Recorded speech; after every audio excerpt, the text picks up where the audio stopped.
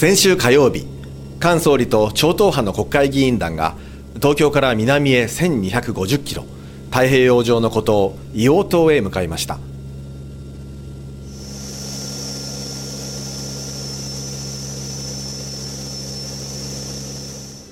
かつての住民は戦時中の疎開で残っておらず今は自衛隊員しか暮らしていない硫黄島。第二次大戦の激戦地だったこの小さな島で日本軍は2万1900人もが命を落としました。4年前に私初めてこの硫黄島を訪れまして、まあ、それ以来、えー、大変気になっていたんですが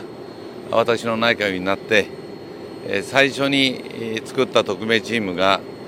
この硫黄島の遺骨収集収容の、えー、特命チームです。ご遺族の一人長澤さんは長年この島に通って遺骨収容を続けてきました。去年までに見つかった遺骨はおよそ8700柱。しかし平成10年後からはかなり規模も縮小されました。そして私たちやったのはこの島生還者と歩きながらあの近くまで発見すればその奥まで入ってお迎えしたんですけれどもそういう地下壕は全部掘り潰したんですよね。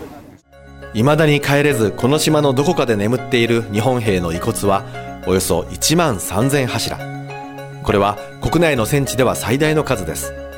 しかし探せるところはほとんど探してしまい近年は見つかる遺骨は1年にわずか数十柱という状況が続いていました。ところが今年秋になって突然発見のペースが上がりすでに300柱を超えてまだ続々見つかる見込みです。この急展開のきっかけになったのはこの夏菅総理が任命直後の特命チームのリーダーに発した一つの指示でした。アメリカに行ってこいと。えー、アメリカの国立公文書館の中にですね硫黄島関係の資料があるはずだと。まあ強い眼差しで科学的調査と、えー、資料収集から始めろという明確な指示をもらいました。ワシントンの公文書館にあった関連資料はおよそ600箱40万ページ。その膨大な書類の中から調査メンバーはこの地図に記された小さな文字を発見しました。エネミーセメタリー敵の墓地。これは米軍が作った日本軍の集団埋葬地ではないか。もう飛び上がるような気持ちでした。それで掘ったらですね10月に初めてドドドッとこう2箇所から出てきたという感じです。まさに菅直人総理がですね、えー、必ず集団埋葬地の、えー資料があるはずだというそういう信念に基づいての発言がなければこれは私たちが発見することはできなかったというふうに考えております。資料発見の知らせはすぐさまご遺族にも伝えられました。年の8月10日に内閣総理大臣の方からお呼ばれになってこういう集団埋葬埋葬っての資料ができ出てきた。私にすれば半信半疑ですよね。本当にまあ情報開示というその中でお見つけになってこういう結果が出たっていうことはやっぱり遺族にとりましては大変ありがたいことだと思います。そういうが長かったですね、はい、申し訳ないですよね5年間待ってた甲斐がありました。でもまあこれで、はい。故郷に帰っていただくことができますから、はい、そうですね、地図で見つかったエネミーセメタリー集団埋葬地は2カ所第一発掘現場の視察に続いて総理は第二現場あのすり鉢山の麓へ。総理がここまでこの問題に精力的に取り組むその思いとは何なのか。菅総理はですねこの前あのふと漏らした言葉でですね用途にはまだ1万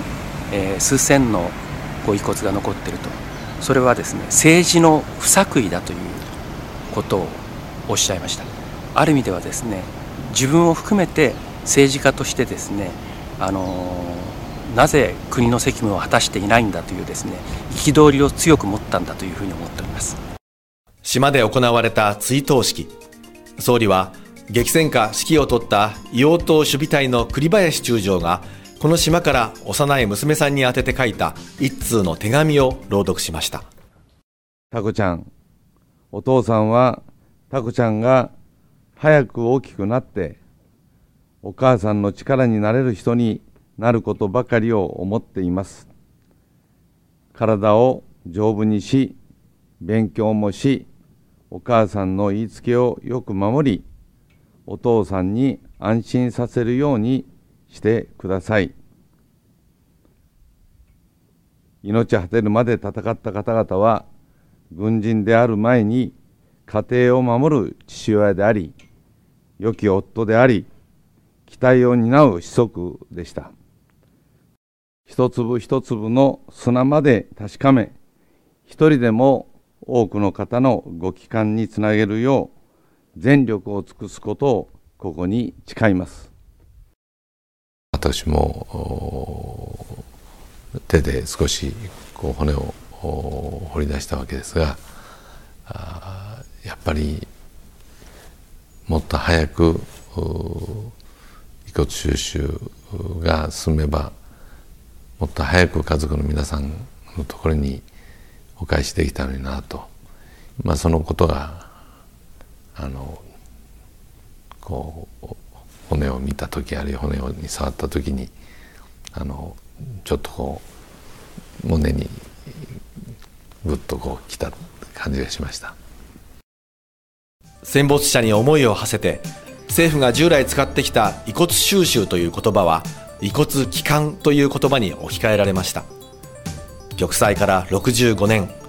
帰還を待つご遺族も高齢化が進んでいます。それはやっぱり自分の目で確かめてお迎えしなければそれはやっぱり子供としての最大の願望ですから。本当にありがとうございましたそうそうでなかったらねこのまんま我々だってもう80ですから、もう最後の親に対する務めだと思ってます。本当ですよね。はい、しかし若い皆さんに知ってもらいたいですよね。本当にご苦労様でした。菅総理はまずはこの硫黄島での取り組みをしっかり進めさらに他の戦地で眠る遺骨の帰還へとつなげていく方針です。